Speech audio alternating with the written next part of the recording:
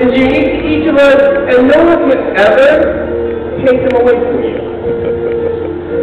Now, when I was a kid, this, was my dream.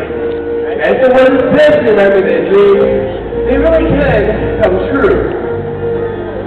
Now, I like to meet a friend of mine, Kate. Now, Kate is visiting in college in England, and she too has a very special dream. Kate, tell me what it is you want to you get older. Teacher. Okay, a pretty cool dream to have. It does a special you. Follow me, alright?